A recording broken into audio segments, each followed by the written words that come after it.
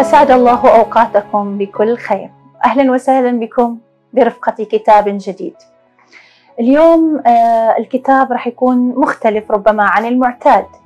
آه، لأنه اليوم بنختار الحديث عن رواية هي الرواية الأولى للكاتبة الإنجليزية أليس كويبرز ومن ترجمة المترجمة هدى فضل والصادرة عن دار العربي في عام 2019 المختلف في هذا الرواية بالنسبة لي أنا شخصيا أنه لطالما كنت أنظر للروايات بطريقة مختلفة. بمعنى أنه من المستحيل جدا أنه أؤمن أنه في رواية مباشرة ممكن تعجبني أو تسحرني بطريقة أو بأخرى. وكنت دائما أجد أنه الأدب شيء والمباشرة شيء آخر تماما. هذه الرواية هي في منتهى المباشرة. رواية بدون أي ألاعيب سردية. رواية تذهب يعني إلى إلى الحياة إلى قعر الحياة. بل إنه من أول مفتتح هذه الرواية نجد أنها تحتوي على يعني طلبات للمنزل يعني لستة بأغراض اللي لازم تنجاب إلى البيت. هذه الرواية بمجرد إن خلصتها ورغم إنه رواية مباشرة تماما أول شيء فكرت فيه إنه فعلا أروح أحضن أولادي. كان شعور غريب جدا وحسيت إني أريد أقترح عليهم البقاء وقت مشترك أطول أو نقترح نعمل برامج مشتركة مع أولادي. لأنه هذه الرواية اللي هي لا تعدو أن تكون رسائل. وهنا المفاجأة. بالمناسبة هذه الرواية اللي تعتبر الرواية الأولى لأليس كوبرز هذه الرواية ترجمت إلى 29 لغة من مختلف لغات العالم ورشحت إلى تسع جوائز. رغم إنه عمل جدا بسيط يعني ما في أي ويمكن إنه الأشياء اللي ما فيه هي اللي تخليه أصعب في الوصول. يعني رواية هي عبارة عن رسائل وهذه كانت بالنسبة لي مفاجأة لدرجة إنه الصفحات هي ليست صفحات بيضاء صفحات مسطرة. يعني أنت تفتح على هذه الرسائل وفعلا تجد الورق المسطر ورق الرسائل. تجد الرسالة الأولى اللي تبعثها البنت كلير لأمها هي إنه تخبرها إنه العشاء كان بارد. أم وبنتها اختيار أيضا العلاقة بالنسبة لي واحدة من يمكن أقوى العلاقات الإنسانية اللي ممكن تنشأ بين أم وبنتها.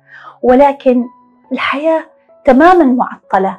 الأم الطبيبة اللي تعمل على توليد النساء اللي تقضي ساعات طويلة من الليل في المستشفى أمام عدد لا نهائي من المواليد الذين يحضرون إلى الحياة.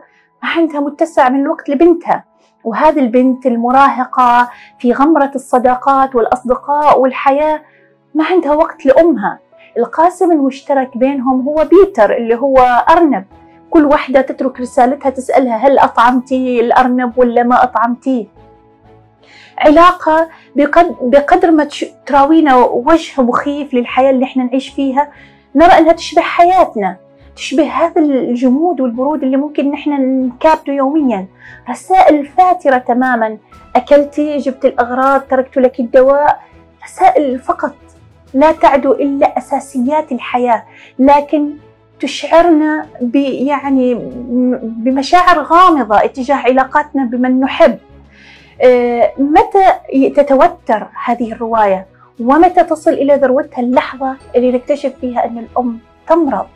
الأم تصاب بسرطان وعندها تختلف الرسائل وتختلف نبرة الرسائل ويصير هناك في تحول غريب في هذه الرسائل المتروكة على باب الثلاجة. هذا التحول اللي متى نشعر فيه في اللحظة التي ينتهي الوقت أو ينفذ من بين أيدينا الوقت؟ وإذا كان في شيء تمنته كلير آنذاك هو أن يعود الوقت لتقضيه مع أمها كما ينبغي لأنه تشعر إنها ما عاشت مع أمها. الحياة لطالما كانت مجمدة على باب ثلاجة.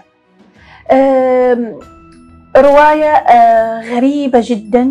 لا تعدو أن تكون رسائل ولكنها ترينا فداحة الوقت الذي يركض من بين أيدينا بسرعة بسرعة فائقة جدا ولا نستطيع اقتناصه. أتمنى أن يكون هذا العرض لهذه الرواية التي ممكن تنهيها بالمناسبة في آه، ساعة أو في جلسة واحدة فقط. وترافق كل هذه التوترات الموجودة في حياة الأم وابنتها وهذا وتشتبك مع مصيرهما المشترك وأن تتعرف على أسرارهما وعلاقاتهما كثير من الأشياء فقط من خلال هذه الرسائل.